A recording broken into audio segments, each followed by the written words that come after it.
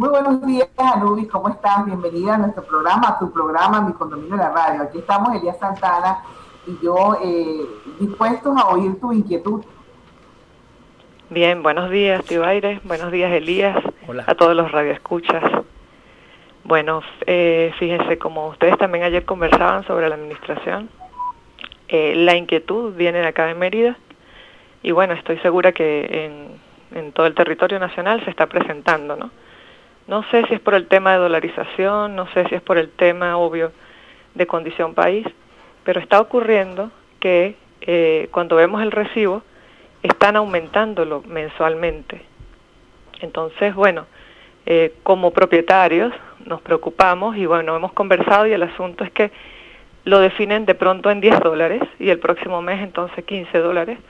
Y bueno, quisiéramos saber de qué forma se puede poner un coto qué, normativa o qué ley rige el establecimiento de los honorarios profesionales de, este servicio y cada cuánto eh, debe de pronto un administrador hacer un, cambio de honorarios, de monto de honorarios.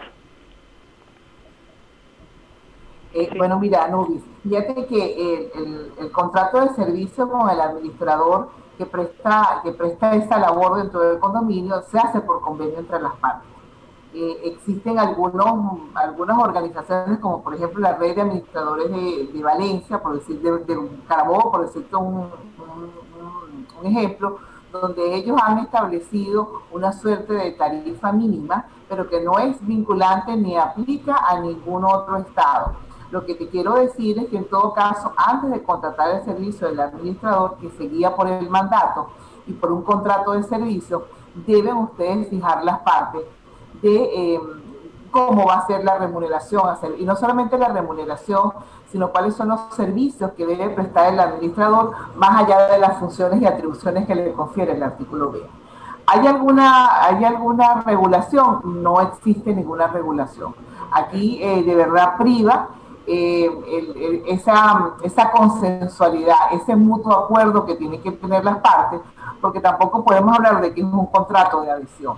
Y el otro tema también que queremos conversar es si ustedes establecen eh, los honorarios eh, en divisa extranjera o lo hacen en bolívares, porque también eso tiene que ver mucho con el aumento el aumento del, del, del, del costo. Lo que sí no puede ser permitido es que unilateralmente el administrador, sin consultar con su cliente o con, su, o con la comunidad de copropietarios, en este caso, puede hacer incrementos sucesivos. Aquí hay un contrato bilateral y el contrato debe seguirse tal cual ha sido pactado.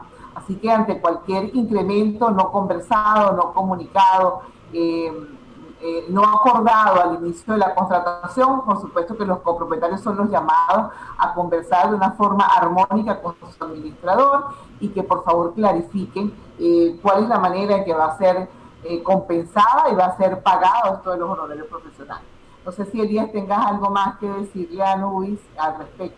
Sí, la empresa administradora es Anubis como la empresa que le brinda mantenimiento al ascensor o a la puerta eléctrica o un proveedor que te va a, dotar de bolsas negras de basura o material para, para la pandemia es un empleado, es un proveedor del condominio. La comunidad de propietarios es la, bueno, es la máxima autoridad, es la máxima representación que tiene un condominio y la comunidad de propietarios se hace representar en la cotidianidad mediante una elección de una junta de condominio, tres principales y tres suplentes. Y también de, eh, designa, contrata, decide la contratación de un administrador. Es, un administrador puede ser una persona natural, puede ser una persona jurídica. Dentro de las personas jurídicas hay diferentes modalidades, puede haber desde una firma personal hasta una corporación, eh, una multinacional.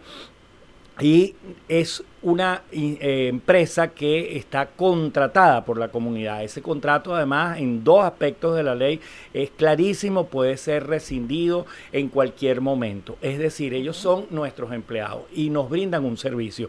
Y toda empresa que nos brinde servicio nos hace una cotización, nos hace una oferta. Y somos nosotros los que negociamos, los que conversamos y lo que al final, si nos complace por supuesto, podemos aceptar esas condiciones. Eh, así que reitero lo que la respuesta respuesta que te ha dado Tibairi Altuve, además desde esa perspectiva, desde la soberanía del consumidor, de quien, de quien contrata, y somos nosotros los que decidimos si aceptamos o no aceptamos esas condiciones. Y allí, por supuesto, debe haber mucha capacidad de empatía, de entender la situación del otro, del que administra y el que administra entendernos a nosotros en el condominio, nuestra capacidad de hacer aportes, por supuesto, y debe haber una conversación, un diálogo, buscar que haya un acuerdo, un consenso, eh, siempre que nos estén brindando un buen servicio, por supuesto.